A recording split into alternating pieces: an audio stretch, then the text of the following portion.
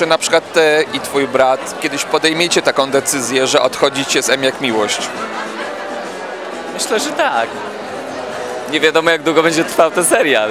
Albo serial się szybciej skończy, albo e, może ktoś podjąć taką decyzję, że, że to już koniec. Czy wyobrażacie sobie życie bez M jak miłość? Z tego serialu. Czasami mi się wydaje, że ludzie nie wyobrażają sobie, że my nie wyobrażamy sobie życia bez tego. Ale to jest praca jak każda inna, któregoś dnia możesz jej nie mieć. Dlaczego do tego trzeba podchodzić jak do jakiegoś, nie wiem, jakiegoś kataklizmu? Nie, nie, nie, to jest zupełnie normalne. Dzisiaj jest, jutro go może nie być. Ale myślę, że was nie wyrzucą, że to wiesz, będzie wasza decyzja.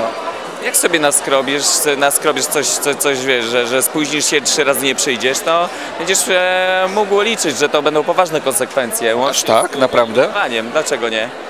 No każdy musi być odpowiedzialnym człowiekiem za to, co robi. Ja myślę, że ekipa, która czeka na ciebie na planie w liczbie 60 osób, też oczekuje od tego, żebyś e, no, nie robił jakichś niesubordynowanych akcji. Powiesz, ostatnio rozmawiałam z panią Teresą Lipowską i ona powiedziała, nie wiem czy to potwierdzisz, że e, wy po M jak miłość możecie pracować w swoim zawodzie, raczej o zawodzie, o kontynuowaniu powiedzmy praca, która mało myślicie. Czy to jest prawda? Na planie są e, podejmowane różne tematy. Czasami e, o życiu, o, o, o pracy, o przyszłości, o marzeniach, o oczekiwaniach. A niejednokrotnie padają różne, e, różne kwestie odnośnie kontynuowania tego czy nie.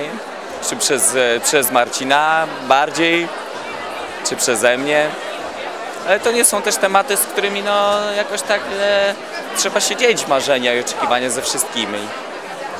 Tak myślę, że Ale powiedz, gdyby, e, no jeżeli powiedzmy już nie będzie M jak miłość, to co możecie robić w życiu?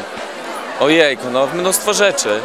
Na przykład. Przecież no, g- g- jestem e, człowiekiem zdolnym do pracy, mogę napisać CV i zgłosić się do naprawdę e, każdej pracy. A wy tego nie, nie, bo, bo zadając mi te pytanie, nie wiem co byś zrobił, gdyby cię, gdybyś teraz na przykład nie, nie mógł pracować. Wiesz, nie o to mi chodzi. Ja zadając to pytanie, e, wiesz, mam na myśli to, że jesteście tak utożsamiani z tym serialem. Ja wiem, ja wiem, że będzie ciężko, a bo to, to trzeba było zapytać wprost. Ja wiem, że będzie ciężko e, nie utożsamiać nas przez jakiś czas, ale to nie jest też e, jakimś. E, to, to, to nie, nie można też tego w taki sposób e, odczytywać, że nie możesz robić nic ponad to, nic, nic więcej. Bo ja już w swoim e, życiu brałem się za kilka rzeczy i teraz mam również pomysły na, na, na inne. No powiedz, jaki masz pomysł? Nie, nie, bo to już nie, nie dotyczy się kwestii tej, którą bym się e, chciał chwalić. To już nie dotyczy tego e, Rafała, który na co dzień jest utożsamiany z Pawłem. Rozumiesz?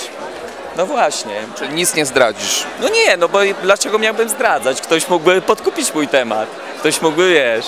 Serdecznie pozdrawiam wszystkich widzów WP TV.